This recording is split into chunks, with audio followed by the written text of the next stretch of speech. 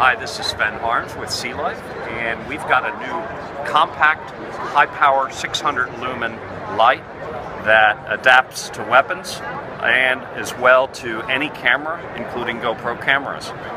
The light is adjustable and turns on quickly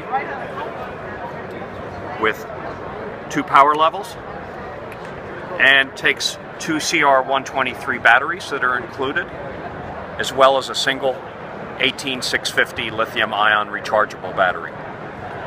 What's nice with this is there are included camera mounts as well as clips to attach to your body as well as a weapon mount.